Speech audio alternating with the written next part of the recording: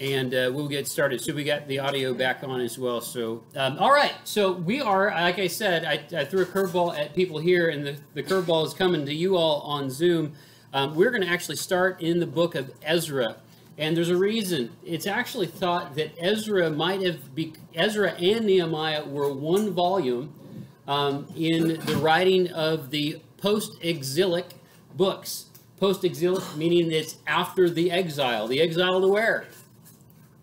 Babylon, right? From Israel to Babylon. And we're going to look at that uh, tonight. So Ezra being the first installment of two, actually, we think Nehemiah, Ezra and Nehemiah were both likely written by Ezra, uh, journaling, because that was kind of his job to journal what was going on um, at the time in the exile period or uh, post-exile period.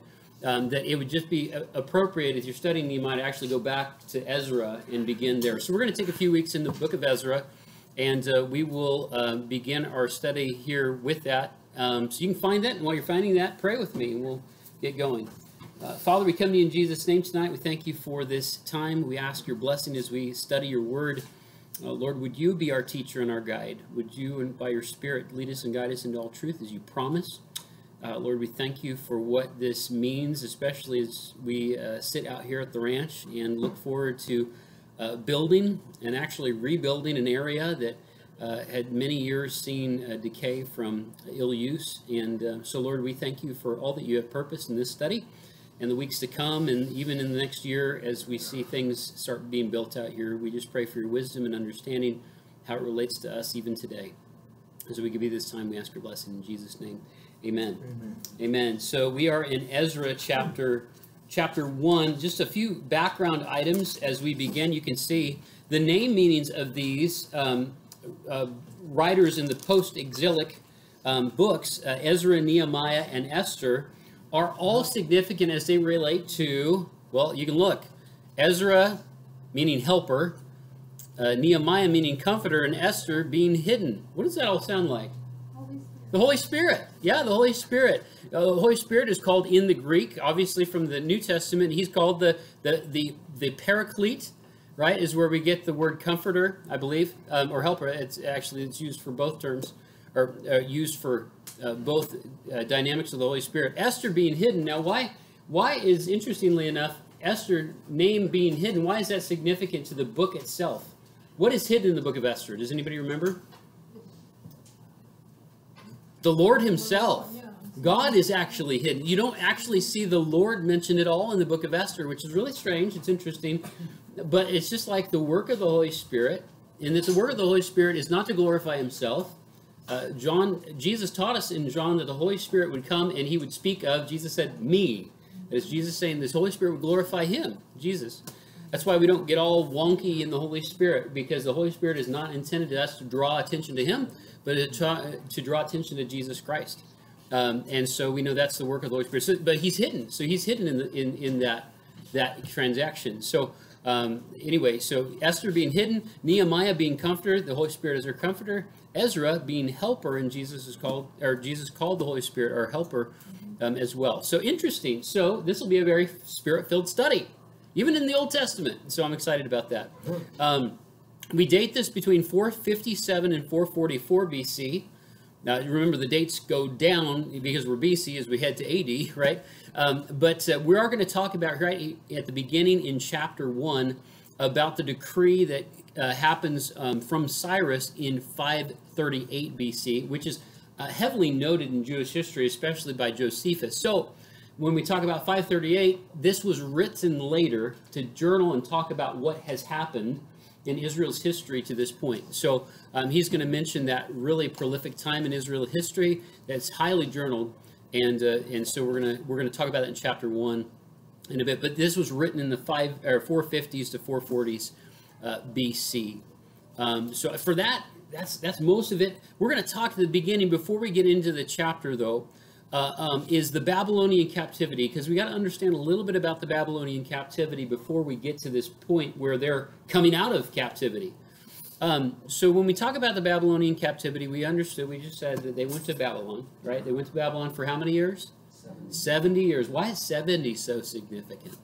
Perfect number. It's a perfect number. Seven is a part, yeah, part of it. Perfect number. 70s are really interesting in Scripture, right? We know Daniel's uh, 70 weeks prophecy from Daniel chapter 9, right? That's significant, right? There's a lot of sevens in Revelation. Like say, you're talking about seven being a perfect number. We studied the book of Revelation a little bit here, and sevens are a plenty. Uh, seven is an important, or 70 is an important number, and we'll see how that plays into the 70, uh, re, uh, 70 years that they were in captivity especially when we talk about why. Second Chronicles chapter 36. If you want to keep a finger in before we even get into Ezra, uh, Second Chronicles chapter 36. It, it's not very far over to the to the left. Um, if somebody would um, not mind reading uh, chapter 36, 15 through 23, and those who are listening uh, might have a hard time hearing it, so we'll have them speak up a little bit. But if you can't, you can just read it on your own but uh, Second Chronicles 36, 15 through 23. Go for it. Yeah. The Lord, the God of their fathers, sent word to them through his messengers again and again because he had pity on his people and on his dwelling place. But they mocked God's messengers, despised his words, and scoffed at his prophets until the wrath of the Lord was aroused against his people, and there was no remedy. He brought up against them the king of the Babylonians, who killed their young men with the sword in the sanctuary, and spared neither young man nor young woman, old man or aged. God handed all of them over to Nebuchadnezzar. He carried to Babylon all the articles from the temple of God, both large and small, and the treasures of the Lord's temple, and the treasures of the king and his officials. They set fire to God's temple and broke down the wall of Jerusalem. They burned all the palaces and destroyed everything of value there. He carried into exile to Babylon the remnant who mm-hmm. escaped from the sword, and they became servants to him and his sons until the kingdom of Persia came to power. The land enjoyed its Sabbath rests all the time of its desolation. It rested until the 70 years were completed in fulfillment of the word of the Lord spoken by Jeremiah. By Jeremiah. Interesting. And we don't have a ton of time, but for the sake of time tonight, somebody look up Jeremiah 29, 10 through 14, if you don't mind. We won't look at 25, 1 through 13, but somebody look up Jeremiah 29, 10 through 14. We, we tend to, to get this scripture mixed up with some wonderful sayings that come out of Hobby Lobby and your t-shirts, and, and that's fine. Um, but uh, um, you'll you'll see what I'm meaning here in a bit. But if somebody could, Jeremiah 29, 10 through 14. This is what the Lord this is what the Lord says. You will be in Babylon for seventy years, but then I will come for you all the good things I have promised, and I will bring you home again. For I know the plans I have for you, says the Lord. They they are plans for good and not for disaster. To give you a to give you a future and, and a hope. In those days when you pray, I will listen. If you look for me wholeheartedly, you will find you will find me. I will be found by you, by you, says the Lord. I, I will end your captivity and restore your fortunes. I will gather you out of the nations where I sent you and will bring you home again to your, to your own land. There you go. Now you heard that promise there Behold, I know the plans I have for you, declares the Lord. Plans to prosper you, not to harm you. Plans to give you hope and a future. Looks so good on the fireplace mantle. It actually wasn't written to you. Um, that doesn't mean that the truth isn't true. God surely knows the plans He has for us, right? And they're good plans, right? I, so that there's truth there. I'm not trying to make fun of it, but but it is interesting when that is written specifically to the Jewish people coming out of the 70, 70 years of captivity um, promised very clearly by the prophets. Interesting enough, what Beth wrote, or but what Beth read, uh, is that one of the issues why they were going into captivity was they did not listen to the prophets. They did not listen to who God had used to speak to them. Now, what what did they not listen to them about? In some of your maybe your Israelology history in the back of your mind, what what were some of the things that Israel really went into the Babylonian captivity because of? Worshipping foreign gods, worshiping idols was the main thing Jeremiah 25 talks about very clearly. They did not listen. They were given uh, uh, prophets and they were given these to, to, to say, hey, turn or burn, buddy, you know, repent. And they would not listen. What are some of the other things? That, why did they go into captivity? Yeah, Beth. Well, this, this from Chronicles 21, the land enjoyed its Sabbath rest. The land. The, the land enjoyed Sabbath rest. Well, every Seven, years seven one in seven. So every six years they were to work, and the seventh year they were to let it rest. Can you imagine? I mean, think Uh-huh. about this. This was what God wanted for His people to take a year off. Wouldn't that be nice? You think about that from working, from laboring. Hey, everybody just gets a year off because I'm going to provide in year six enough for year seven, right? I mean, so if y'all knew, see, this wouldn't work today, you know, because nobody knows how to save, right? So that's the thing. Because even in year six, they had to save it so that it was used for year seven. But it just wouldn't work. But that- it's, it's, Lord said, you know, take a break. But they wouldn't. It's interesting. Uh, um, uh, the Cathy family. Uh, um, is it Dan Cathy's young young young Dan? I think is around for Chick Fil A. Um, Chick Fil A was noted as or they've all you know they've always been closed on Sunday. Gen- generally, have been closed on Sunday. I think they still pretty much are. Um, but I remember um, uh, Truett, uh, the, the, the, the, the senior, um, was uh, in one of my my business textbooks in my undergrad degree, which is in business administration. Uh, in uh, in that textbook, they had a spotlight on Truett Cathy, and uh, and and talked about him and his testimony. And at the end, they asked him a question simply: Why why why don't you open on Sunday? He shared about his faith, and then he ended with this simple little thing: is and we can beat the competition in six days, so why work seven? is what he said. it was really funny, and so that's exactly what they do. They they generally do, and they still do. Um, so they hold that principle uh, of wanting to take Sabbath rest because financially they see God's provision in that, and that's great. But yeah, so they missed that though. The children of Israel did for 490 years. They missed that. God gave them opportunity, and even He knew it would happen that way. But for 490 years, missing that one year, He kept track of each one of them and said, for 70 years, then take one out of those 490, it leaves 70. The land's going to get a break, right? And so yeah, so one of the reasons is to give the land a break. Interesting. The land needs a break too. That's just interesting, isn't it? Yep. Go ahead. Uh, Babylonian captivity, the same captivity that's talked about in Ezekiel? Uh, great question. I'd have to go back and check because there's Assyrian, right? I mean, they, they were led into Assyria, right? At least north. The north was led earlier, um, but uh, but not.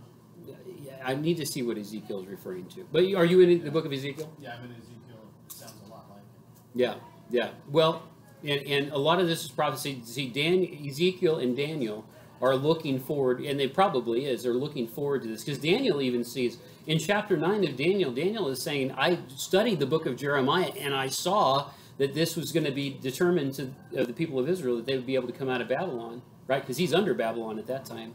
And he saw that, oh, we're going to be able to get out of here. And then he prays to the Lord in chapter 9, Lord, let it be. You know, woe is us. We don't deserve it, but God, would your word be true? And that's what happens. And then, uh, and then obviously, um, um, it's announced to him angelically that uh, that they're going to get out of it. So, yeah, no, but but idolatry.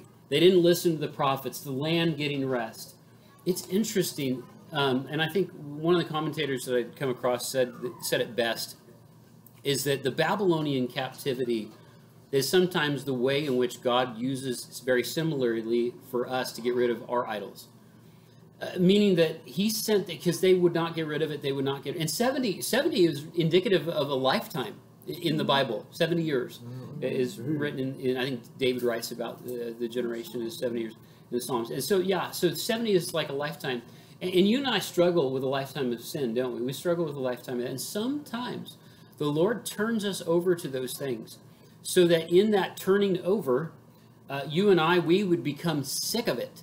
We would become sick of it and we would come out not wanting it anymore. And that's exactly what happens with Israel. They don't turn back to idolatry, at least the idolatry that they served in the time prior, because they were in Babylon and the people that were ready to come out of it were ready to come out of it and never went back to it, interestingly enough. And that's how the Lord works in some of our lives too. Uh, sometimes he turns us over to those things. That's why once in a while we pray, Lord, you know, why am I still struggling with this, or why am I, you know, and and oftentimes we go back to it in our own way. God doesn't tempt man. God doesn't send us, you know, right? We know that from John or James chapter one. But there are times when God allows us to fall right back in and headlong into it, and in allowing that, He gets us, allows us to get burned enough to where we desire it no more. Um, and even if it takes a lifetime, that's what He'll do. Um, and that's really indicative of what happens here in Babylon. So, so yeah, so they come out of that, but they come out of it a different people, uh, stronger people, at least not going back to those things. Um, uh, interesting. Well, let's move on. So back to uh, Ezra chapter one. Let's start uh, just the first few verses. Let's look at verse um, verses uh, one through four. Um, I'll, I'll go ahead and begin right here. In the first year of Cyrus, king of Persia, or it was in the first year of Cyrus, king of Persia, rather, that the word of the Lord by the mouth of Jeremiah, that the word of the Lord by the mouth of Jeremiah might be fulfilled. The Lord stirred up the spirit of Cyrus, king of Persia, so that he made a proclamation throughout all of his kingdom and also put it in writing. This is interesting.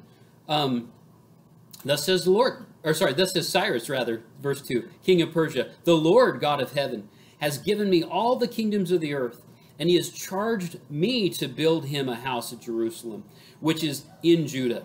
Whoever is among you of all of his people, may his God be with him, and let him go up to Jerusalem, which is in Judah, and rebuild the house of the Lord, the God of Israel. He is the God who is in Jerusalem.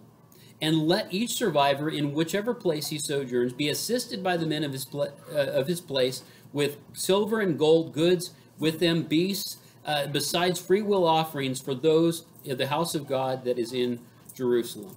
Interesting. So at the beginning here, interesting, Cyrus is moved.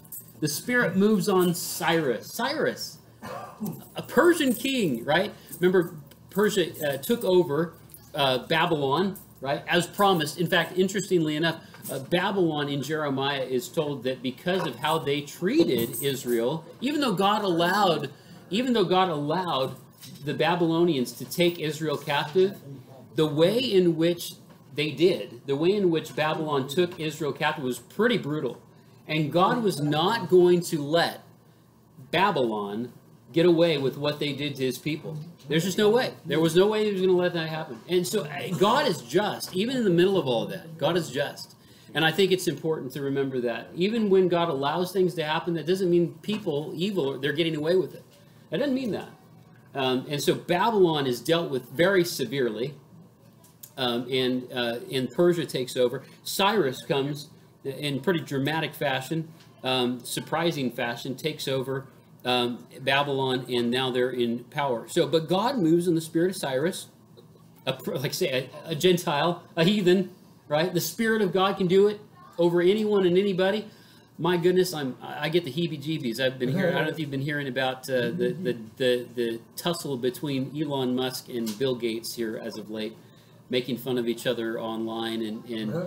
billions of dollars getting thrown at each other because Bill Gates is shorting the stock of Tesla. Um, and then it, it's, it's, it's quite a dramatic thing right now. It's interesting. Uh, I, I I can't even, I wouldn't even say any of the things that Elon Musk is saying about Bill Gates because it's very vulgar and it's very mean, but he's saying it out on Twitter. I mean, they, they are in a royal feud right now. It is really bizarre. And these are two big, big, two of the biggest billionaires there are. And I just, I, I'm like thinking for Elon, man, you know, he's asking for a bullet in the head. I mean, that's a, he is. They are. They are. He's uh, barking up the wrong tree because I think Bill Gates pretty rough dude. Um, he doesn't seem like it, but he's a pretty rough dude. He's a, he's a he's a one worlder. He's a you know all kinds of things. But as I was mowing the other day, I was thinking, God, you know, if you could do it to Paul, you know, or God, you know, if you could do it to you know, if God, if you could move in any anybody, um, you could even move on Bill Gates. You know, maybe not Bill Clinton, but but, but no, no, but Bill Gates, no, Clinton's. Oh my goodness, predestined for anyway. Never mind. Um, but uh, no, but uh, uh, no, but just God can do any any of that, and, and we need to keep that in mind. We need. That's what it means. We need to pray for people, and not not just um, you know think ill of them. We need to pray for them. So Cyrus, who would have thought? Cyrus would be the one that would be the agent. Well, actually, it was prophesied, right? Many of you know that. I don't know if you knew that or not. In Isaiah 44 and 45, we don't have time, but but actually, or do I have it? I do have it in there. Isaiah 44. You can look at it. Isaiah 44, 28. Um, I, it's not too far over. If somebody has it, you can go ahead and read it. But the end of Chronicles there. it, yeah, the, yeah, and well, yeah, but I, Isaiah 44 actually mentions verse 28 by name. Cyrus, 150 years, believe it or not, before Cyrus is even born. I mean, just think about that. Um, uh, it's just amazing. Even 150 years before he is born, uh, Isaiah prophesies. It says, "Who says this is the Lord? Who says of Cyrus, He is my shepherd. He shall fulfill my purpose. Saying of Jerusalem, she shall be rebuilt, and the temple, your foundation, shall be laid." Interesting, even so specific as we're going to see here in, in Ezra, that Cyrus's main job in this rebuilding effort, which is not everything, he doesn't go back and rebuild everything. His main focus is wanting to rebuild the temple. And that's exactly what Cyrus does. It's thought of actually written by Josephus that that, that the uh, uh, the Jewish leaders that were available at the time actually gave uh, some of these things, like maybe even Daniel. We don't know who exactly might have passed this along, but maybe passed this along to Cyrus and showed this is what Isaiah wrote. This is what the, the Lord, the God of the Hebrews, this is what they write about you, Cyrus, even before you were born. And that might have moved him uh, to decide to declare that, yes, okay, well, God is the God of heaven. He's the God of the, the, the Hebrews. He's, he's, you know, he certainly knows. And uh, and and he's the one that needs to be worshipped. And he now you might hear about thecy- cylinder of Cyrus, and the cylinder of Cyrus is in antiquity. It's really interesting. Cyrus wrote um, all of these things, but he did not write it as nice and wonderfully biblically, you know, sound as he did here in, in Ezra chapter one. Uh, in fact, he definitely writes like a world leader at that time that he was the God that allowed all of these things to happen, and the nations all bowed down to him. And uh, but the, interestingly enough, it's believed that the Semitic people, the Hebrew people, are on that cylinder of Cyrus which is fascinating because many people try to discredit that there were even Hebrews in the land or had anything to do with these people. Obviously, they they are a major player in world history, whether antiquity, you know, it will bear that out. I guess we should say, um, and it has been bearing that out. Uh, but anyway, Cyrus. So you know, it's kind of like you know when when the the, the, the quote unquote people like that they, like they show they show well at church and they look good at church, but when they get out of the world and they, they, they don't talk like they do in the church. I think that's what's happening here. I think Cyrus did did have a positive confession like we have here written, apparently written, as it says in Ezra one through four. Um, he wrote this. He wrote a praiseworthy thing to the Lord, the God of the Hebrews, right? But when he got around his buddies and he's out there in the world and stuff like, oh, it's me, it's really me, right? I think that's what, what happened with the cylinder of Cyrus. But but anyway, well, moving on, it's interesting. So that's promised by by the Lord. Obviously, prior Cyrus would be raised up. Cyrus declared that he would build him, verse two, a house at Jerusalem. Again, Cyrus is going with the program, right? As the Lord had declared in Isaiah's ministry, he would be dealing with the temple. Uh, now, whoever is among you, may, uh, may his God be with him and let them go up to Jerusalem. He's declaring any Jew to go up there and go do this. But we're going to see that that's a rough, uh, a rough thing. It's not going to be easy to get people to uh, to go uh, and leave Babylon, and we'll see that here in a little bit. Um, actually, we'll move on into part three. Uh, somebody want to read verse five? Um, see, see verse four before we move on. he he encouraged all kinds of things to be given to them: silver, gold, goods, beasts free will offerings to the house of God. I mean, he was planning on loading these people up to go and do this. He wants he wants God's will. You know, the world needs God's will to happen. Um, and and if the world knew it, the people of God might get with the program, right? If the world, it, it, it's just you know they're complaining about you know green this and New Deal that you know, and we need you know, all this, whatever. Could you imagine if, if Joe Biden or any of these guys got with the program and were like, no, you know what, we need the the only way out of this is the blessing of God. We, we need we need the people of God to get back to the house of God. Uh, so let's get the people back to the church, you know, and people get back on Sunday morning, and, and let's do that, and let's see what, what would happen. Could you imagine? That's what Cyrus is doing. People, we need to get you all back to, to Jerusalem. We need to get you back to the place of blessing, and maybe things will, you know, start going real well, right? And and yet we're going to see that the people of God really drag their feet. They don't really want to leave Babylon. It's interesting. Not all. Many, well, some do. We'll, we'll, we'll talk about it. Here. Verse 5. Somebody continue if you don't mind. Verse 5.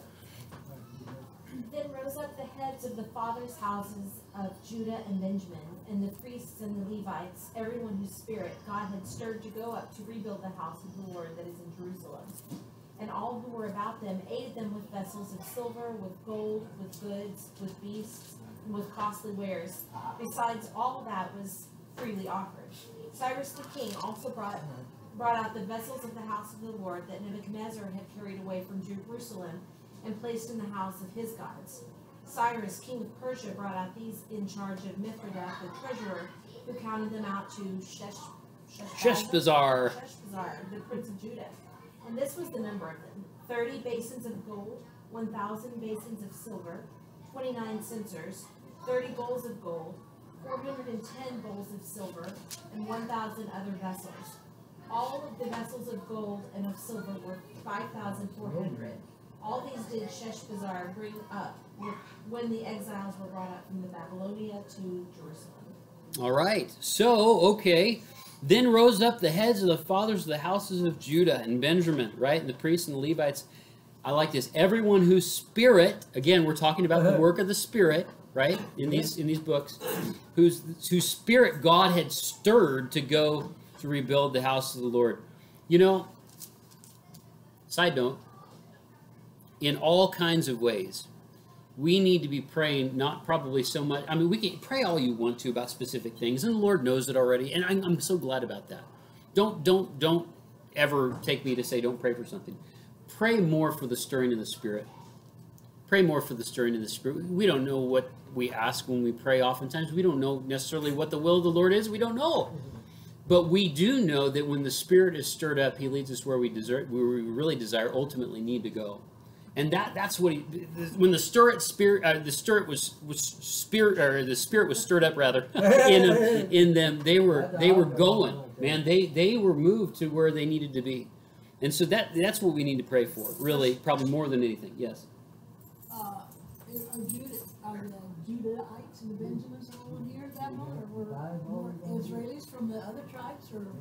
right. Some people say they were lost at this point. No they they're, they they will be mentioned uh, but it, they come out of the woodwork in time but yes th- these are the ones ultimately because this is talking about primarily the temple right uh, these are the ones that ultimately be, begin the quest at uh, home So, but the, the other Israelis were in Babylon at Yes, time? yes. I guess that was my Yes, by that time they got there. Yes, I yes. heard that the one who smelt all those metals built it. Smelt the metals. De- oh boy. Oh, we're getting into we're getting into corny dad jokes over here. But anyway, yeah, yeah. No, some people say that the ten the ten uh, tribes went north and were lost, but they we know that they weren't lost. So, we, we think that they came back by the direction of the decree of whether it was Cyrus or later it's Artaxerxes that goes and builds rebuilds the city along with Nehemiah. They end up being brought back. So it's they're not lost tribes. We don't believe. so, so, but I guess, uh, yeah, just these two tribes responded initially. Right initially, yeah, and we in line with the priesthood and and what's going on in Jerusalem for for sure. It's going them going home, right? Is ultimately what's happening here. What's another name for Babylon? The Babylonians? Is it Chile? Uh, the, yeah, the Chaldeans. Yep, yep, yep. And Chaldeans. then Yep. What about like Amorites and then something different? Uh, well, no, no. I, yeah, yeah, I have to, that's that's that's out of base. That's out of line. Good question. No, no. But right now, the Chaldeans. See, during that time, they were leaders of the, the, the known world at that time, right? The world empire. Uh, so they would have fit underneath that. But anyway, yes. Question, About how far from Babylon back home was it? This is this is not a this is not an easy stretch. I mean, if you think Babylon being what we know of as in Iraq, you can look at the Middle Eastern map and you go west, and it's it's a trek. This is a long journey. Yeah, I, I don't know the mileage, but you can. I mean, if you go west, you got Jordan, and then you've got you know beyond that, we could look at a map. But Um, like fifty thousand Jews go back? yes, 40, we're going to see forty-two thousand, a little over forty-two thousand. Yep. This is not a small thing, small undertaking. I mean, they were loaded down with a lot of goods, but can you imagine? I mean, yeah, it's uh, any of us that have moved lately. I mean, yeah, like I know the princes are shaking their heads. Small thing for God. it's a small thing for God, but it's going to require faith and work and all of that. Yes. That's why it needs to be a spirit stirring because something in these guys is going to get them to do something that most people won't want to do. right? I mean, yeah, exactly. Because this is just a crazy thing to think about having to travel hundreds and hundreds of miles with thousands and thousands of people. This is a, a lot of desert. Yeah, this is not They didn't drive a car. they didn't. They didn't have Teslas or even pay four dollars or five dollars a gallon or whatever. Yeah, yeah. So, but it's interesting. Now we see here that um, that all of these things that were promised to be given to them, and I don't like how my translation puts it here. Does anybody have a New King James or a King James version Yeah. On on verse six? Read. Verse six, Then All those who were around and encouraged them with articles of silver and gold and goods and livestock and with precious things besides all that was willingly offered. They encouraged these people. See, they were stirred in the spirit, right? They were stirred in the spirit. So we got to do this. But then the people giving all of these things to this project encouraged them. And I think that's important. And that's why I asked in, on your notes, you can you can see here. I'm sorry, I didn't provide the notes for you guys. I should have provided the notes for you guys listening online. I can get those to you, but we have notes for tonight. Um, but I ask in the notes what helps us helps us confirm God's will to us in hard decisions. What things help confirm God's will to us in hard decisions?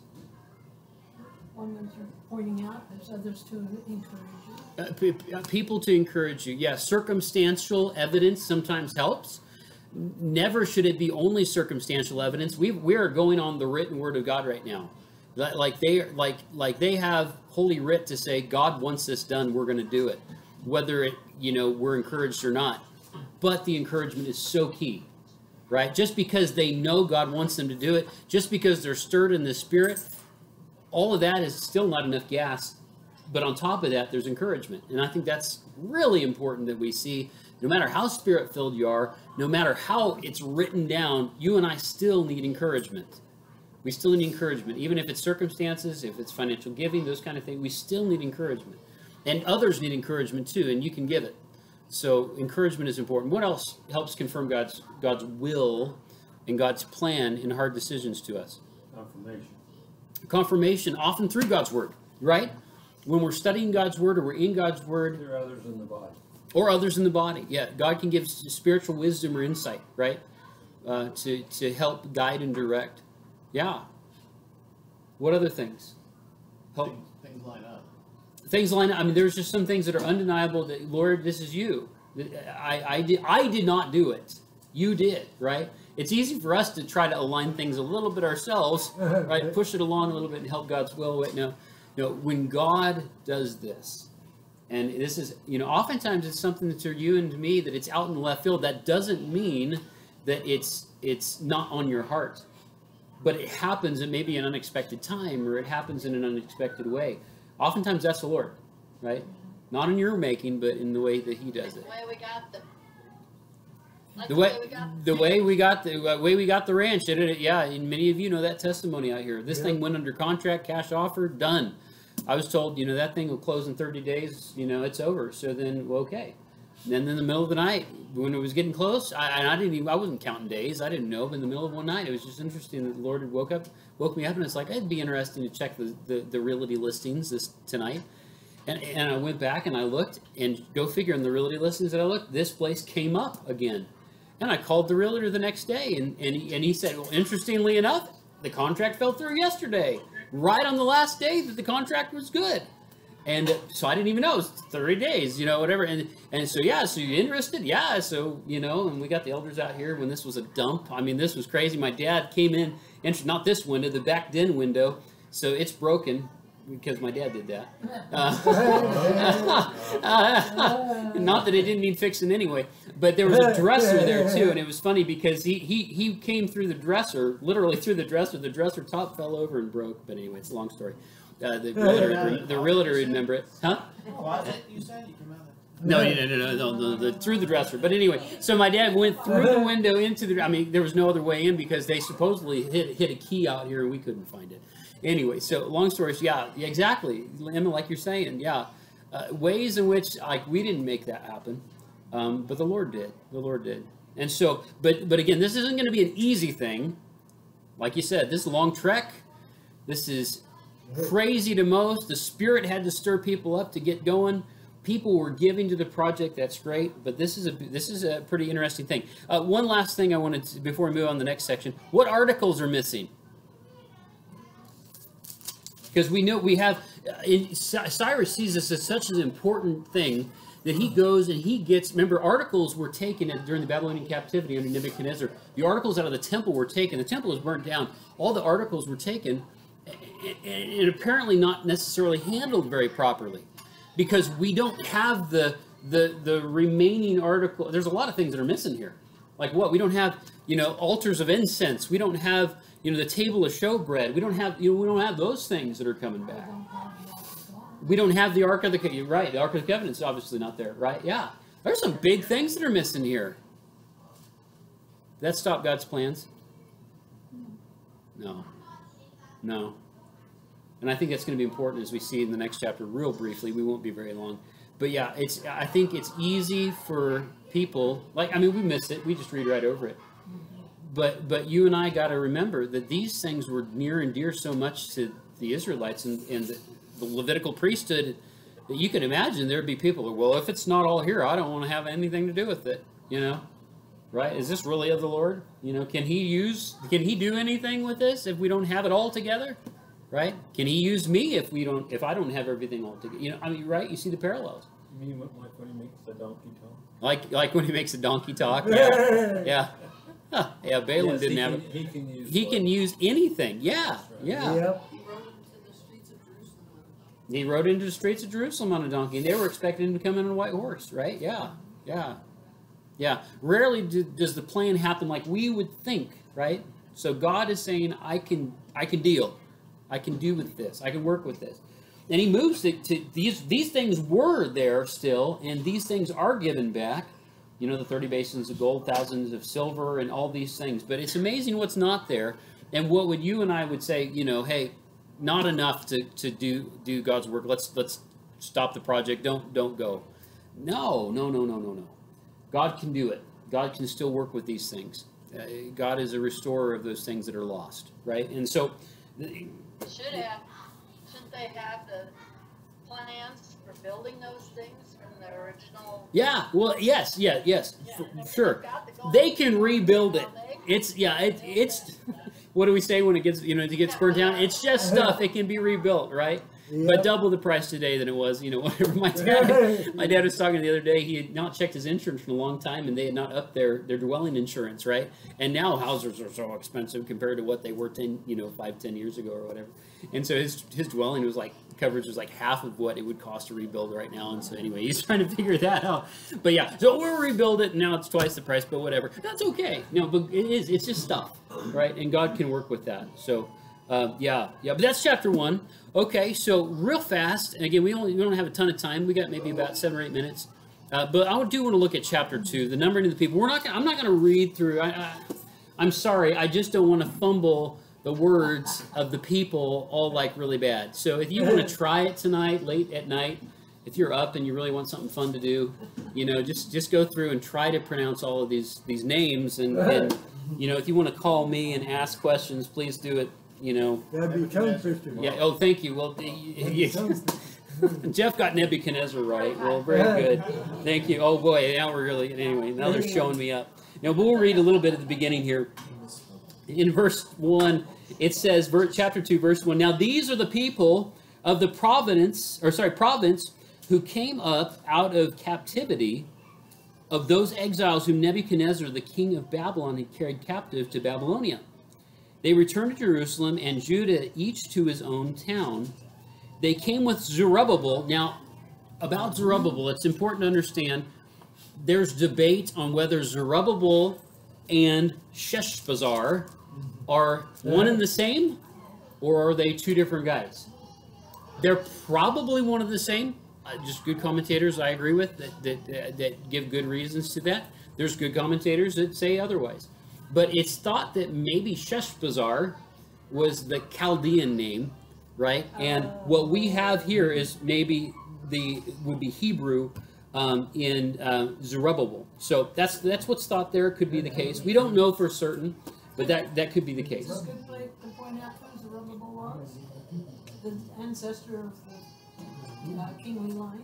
Yes, yes, very true. And he comes back, and ultimately here is the one that's, you know, bringing bringing back the well, the people, yeah, into into the royal city. Yeah, it's very very interesting. But one, you got to see this. So Zerubbabel, but with Zerubbabel, one of the main helpers of Zerubbabel is mentioned next, and this is so interesting. What's his name? Jeshua, which is actually Yeshua. Yeah, who? Who is that? What, what does that sound like? Jesus. That is that that is yeah. In the Hebrew is the word we get Jesus. Yeah, his name is Jesus. Interesting. Now I don't believe this is Jesus, but I think it's really interesting how this all works out, isn't it? is it, right. isn't it already, already, I mean, is it uh, Joshua, the derivative of the same Yeah, word? yeah, yeah. Yes, yes. Yeah. Go ahead, Jeff. Oh, did you say something, Jeff? Uh, I was just going to say, you might mention that there's no J in Hebrew. Right. There's no J in Hebrew. Right. That's where we get that yes. Yeah. Yeshua. Yeah. It's that. Yeah. That Y is very strong there. But yeah, Jeshua. Uh, uh, it- so yeah, interesting. Interesting. So Jesus just fits himself here in the Old Testament like he should. All right. It's just kind of neat. But again, not not a theophany. We're not saying that. But it is interesting. It's just God's word and, and how it works is pretty cool. Nehemiah, Seraiah, Reliah, Mordecai, Bilshan, Mispar, Bigvai, or anyway, He's a rapper. he's a he was a rapper. he was a rapper. Thank you, Jim. Oh yeah, Rehum and but uh, and Baanah. And, and it's going to go through, and it's going to mention not exclusively because these are interesting. Look at this in verse three. It says, The number of the men of the people of Israel." Now, uh, some of your translations, uh, what does it read, verse two into verse three, about these men? Um, it should call them um, the head of the family or something of that nature. No, no. Uh, uh, read verse two into three. Says the number of the men of the people of Israel. Yeah, the men of the people of Israel. Okay. We're, we're going to see it's mentioned. I think some of your translations might mention, or that these are the, the heads of the tribes or the families of Israel, and, and then they're issued or talked about in their family groups. And, and I think the main reason why I wanted to mention that is it's significant in that David in Psalm 68, uh, verse 6, talks about that God has put his people in families, but the rebellious go against that. Uh, and that's a really rough paraphrase, but he puts he puts his people in family units. And, and, and the rebellious wants to undercut that. And that's exactly what we're seeing nowadays. You might remember the BLM movement. One of the first things that they were noted and, and it got in trouble for and actually ended up trying to take off the page is that their whole mission was to destroy the family unit. And that was one of their main things that they put on their, their website is that their intention is to destroy the family. The rebellious try to destroy the family. But God has made the family to be put together, and He honors that. This could have been a really short chapter in saying, well, there was a 42,000, some whatever, the people of Israel, you know, these tribes. But these people are mentioned, the lead, the head, the dads, the, the fathers of these families are mentioned very specifically uh, through chapter 12. And that's why we're just not going to take a lot of time. But you can see this is numbered very specifically, and it's because there's a priority of family. And, and we got to remember that. That God really has, has uniquely knit us in our family, and He has uniquely put us together for a, a for His glory, right? And uh, and to do a, a, a specific thing. Um, you know, all families are very different. We, we, we live differently, spend out everything. There's so much so much uniqueness in the family, and that's just how God works. And so that's something that that don't don't don't overlook when things are getting built out here and things are don't overlook the the, the ministry of your family right? That's that's prime. I remember james toth told me that. It, it, it- last pastor before me here at calvary. He's just never overlooked the ministry of family. I remember him telling me that. And it's really important. And he had he had a big ministry to his family and many of you guys know that. Um, he had some special needs that were in his family as well and a whole bunch of things like that. And that's what took him north, you know, back to where home home base was for them. But never overlook the ministry of family. And so anyway, that that goes on into and talks about uh, the family. Um, uh oh, we might have lost our onliners, but that's okay. Sorry, we're just going to keep pushing through, and we're going to keep going. Um, we're almost done. Um, so anyway, you're going to see through verse 36 through 63 the listing of next the priest. So up through the first 35 verses, you see the listing of the people, but then we start seeing the listing of the priests. Now you could try to some people try to discredit the Bible by taking this list and then trying to match it with uh, ones that are written or lists that are written with Nehemiah about prior who had gone before, and even there's some other extra biblical lists that some people try and they say these lists are all different and we're missing people and. So the Bible can't be true, right? And and and like, why do we have to be so negative other than they just want to discredit the Bible, right? And, and why can't we just understand and say that in the translation efforts that have gone, gone from this point all the way till now, that you know names can be dropped, things can be consolidated, all kinds of things can happen, right?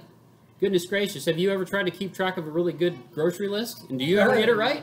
You know, no, we're, we're human, right? Home Alone couldn't even keep track of their kid. right. And Joseph and Mary didn't do a very good job with Jesus either. You know, yeah, and who could keep track of their kids anymore? No, no, but yeah, no. So, so goodness gracious, let's let's. This is God's. This is God's word, right? In the original, we believe it's inerrant, right? In translation efforts, there's struggles. Sure, we get that, right? But that doesn't negate or, or neglect the reality, the validity of God's word if some name is missing on the list. Goodness gracious, okay? So some people are just that crazy, but you'll see that. But anyway, but what's interesting is, is in this next section, verse 36 through 63 is a listing of the priests. And, and, and just real briefly, I want to highlight just a few things here.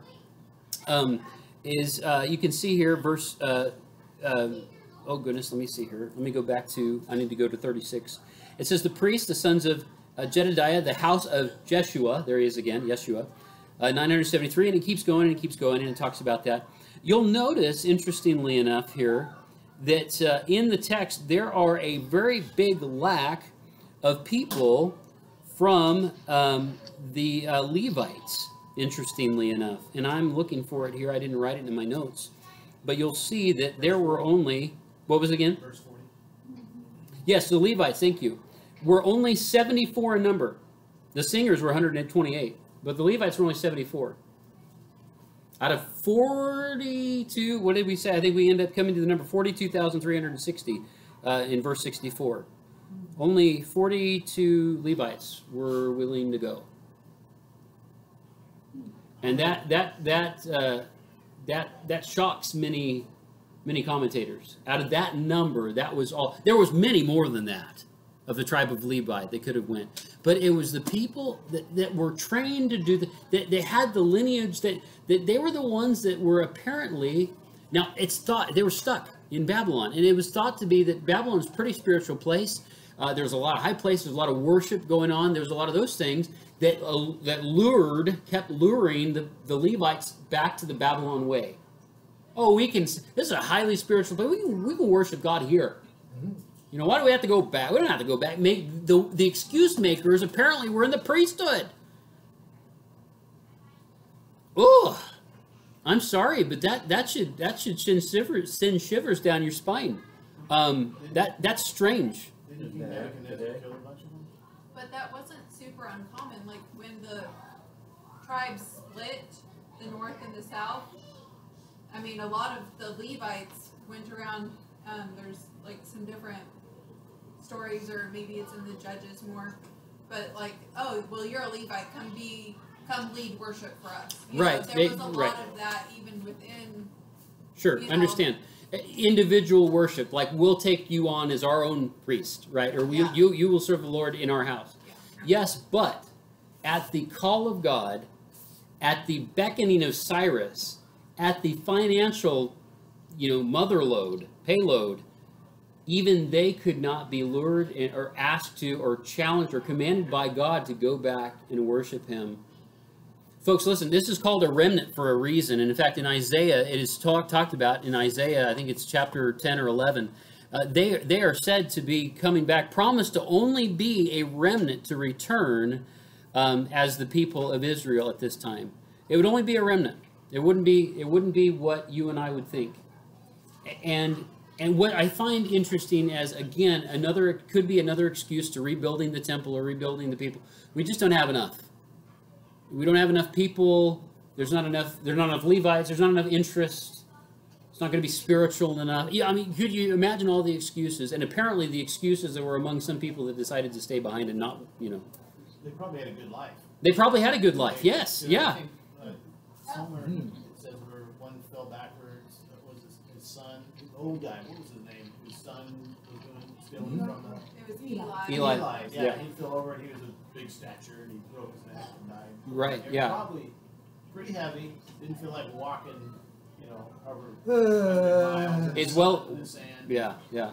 That's a, that's a good observation. They, they had a, probably a, such a good life that it would have been hard to let go. They Yeah, Didn't have hard work. yeah. That's, that MacArthur's notes, that's what he. Go, cuts yeah, go ahead. Since the Levites had been entrusted with the menial task of temple service, many of them may have found a more comfortable way of life in exile. Yeah, yeah. It might have found it, I I, think Emma- interesting menial menial service. Yeah, go ahead, Emma.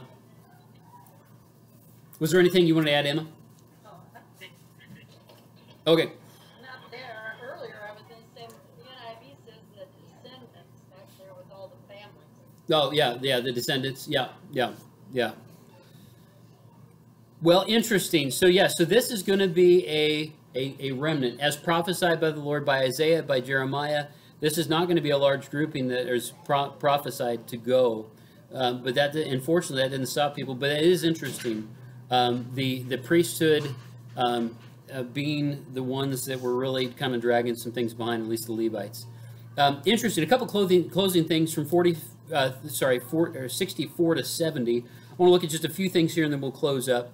Um, verse 64, there's the whole assembly together, uh, numbering 42,360, besides their male and female servants, of whom there were 730 or 7,337. They had 200 male and female singers. I like this. They're just they're, any and all who want to come, even the singers, right?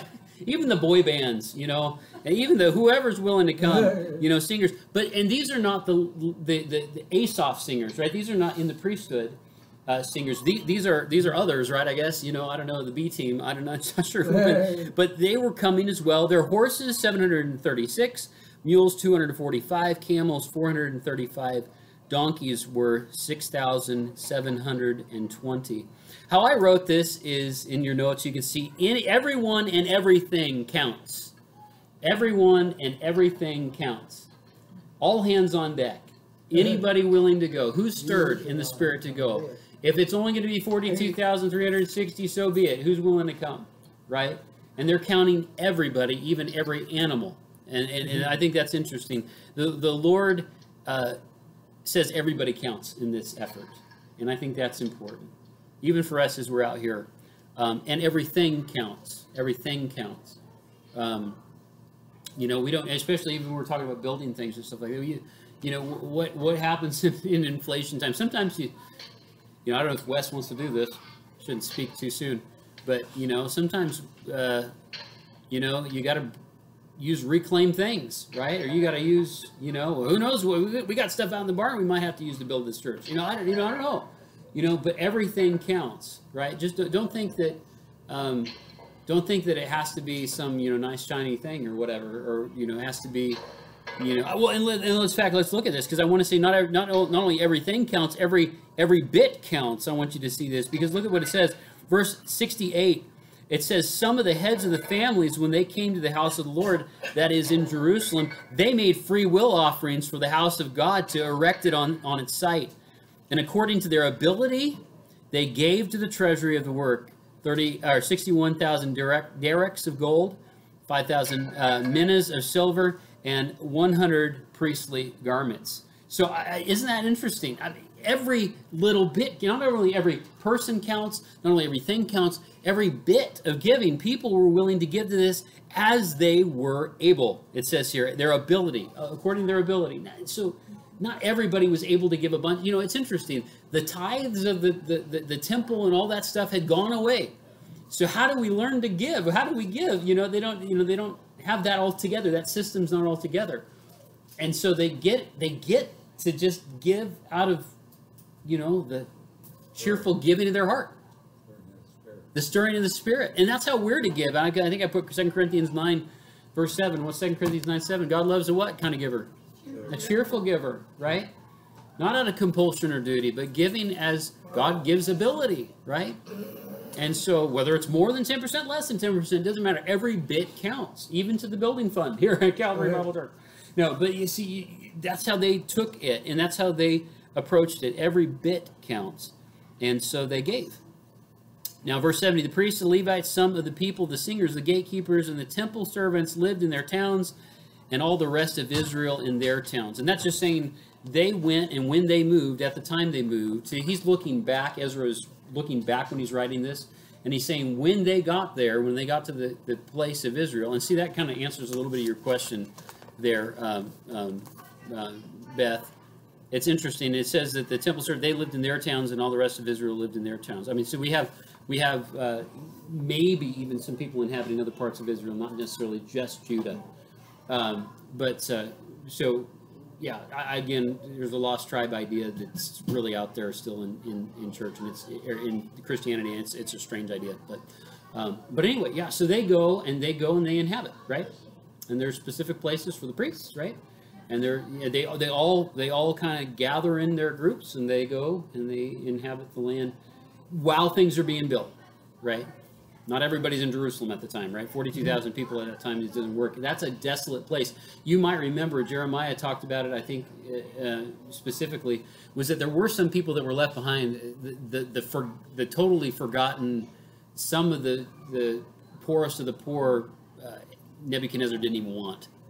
And so he left some people surviving and living in the Holy Land, um, but they were they were the only people that were left. Um, and so there was some infrastructure, but not much at all left. And so they went and they inhabited and made these towns. And we're going to talk about it a little bit more as we go, especially in Nehemiah. This trouble that happened with the invading groups around the area because this was uh, this was a tough time. Daniel called it in Daniel 9, the wall will be built, the city and the wall will be built in troublesome times, is what he said. Troubling, troublesome times. And that's why it's so interesting to build in troublesome and interesting times like we're in right now, because we're really striving in the same way that the people of Israel did when they had to rebuild Israel, or rebuild Jerusalem, especially the temple. So, so we can find a lot of uh, identity with them as they built in troubling, troubling times, and so are we. But well, that's those two chapters. Just as briefly as we can get through two chapters. Thank you for your patience. We're a little bit over time, but that's all right. We're doing two chapters each time as we can to get to the end of Ezra. I'm going to pray, and then we're going to do some uh, uh, prayer requests here locally, and we'll let you guys go online. But pray with me as we close. Father, we come to you in Jesus' name, and we thank you for your word. We thank you for the reminder of your Spirit's working and moving and stirring. Uh, Lord, we pray that, uh, uh, God, that you would uh, continue to stir in our hearts. Uh, Lord, that we would be yielded more and more to your Spirit and less and less to this world. Uh, Lord, there are many concerns and cares on our heart, but Lord, even in the middle of all of that, we ask that you would just uh, move in us by your Spirit in these concerns and cares.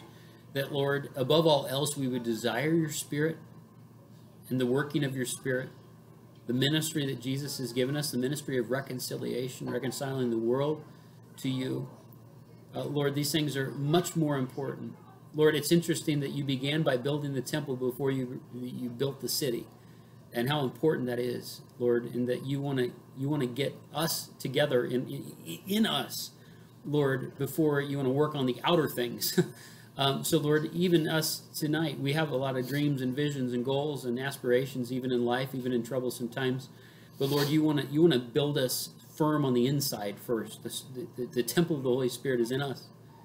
And Lord, you want to rebuild that initially first. And so, Lord, as, as we, we even look to build as a church, or as even as we uh, lay our lives and our, our goals before you, uh, Lord, would you strengthen us and move us in, inwardly? Um, build us up to the people that we need to be.